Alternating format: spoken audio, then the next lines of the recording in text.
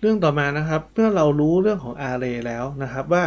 array ที่เราสร้างขึ้นมาเนี่ยมันมีจำนวนช่องตามกำหนดที่เราใส่เข้ามาได้จากหน้าจอแบบที่เป็น dynamic array เหมือนที่เราเขียนที่เราเรียนในวิดีโอเมื่อก่อนหน้านี้นะครับ ทีนี้ถ้าสมมติว่าเฮ้ยถ้าเราเขียนโปรแกรมไป เขียนโปรแกรมไปแล้วก็โปรแกรมทำงานไปแล้วเนี่ยจนกระทั่งถึงโอ้โหบรรทัดที่เท่าไหร่เราไม่รู้ แล้วเราบันทึกในใจว่าเฮ้ยตอนที่ array ของเรามีกี่ช่องเนี่ยเราจำไม่ได้ เราจำไม่ได้ว่า array ของเรามีกี่ช่อง เราจะมีวิธีการหาขนาดของ array ได้ยังไงนะครับ วิธีการหาขนาดของ array นะครับ บางครั้งเราไม่รู้ขนาดของมันใช่ไหมครับ เราต้องเขียนโปรแกรมเพื่อหา การหาขนาดของ array ทำได้ง่ายมากครับ ใช้คำสั่งนะครับ ก็คือใช้ชื่อของ array นะครับ ที่เราตั้งมาจุด length l e n g t h นะครับ length ตัวนี้แปลว่าความยาวนะครับ ความยาวของมัน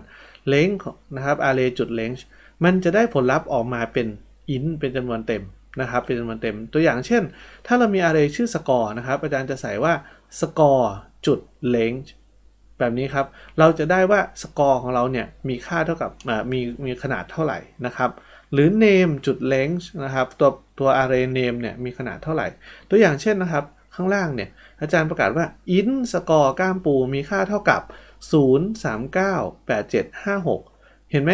ตอนที่เราประกาศเราไม่ได้กำหนดขนาดมันมัน auto นะครับ มัน auto ว่าเราก็ประกาศอะไรขึ้นมาปุ๊บเอาค่าเข้าไปใส่เลยนะครับ ค่าเข้าไปใส่เลย ฉะนั้นถ้าเราอยากจะรู้ว่าสกอร์เนี่ยมันมีขนาดเท่าไหร่ มันมีไซส์เท่ากับเท่าไหร่นะครับ มีขนาดประมาณเท่าไหร่ เราจะสั่งบอกว่า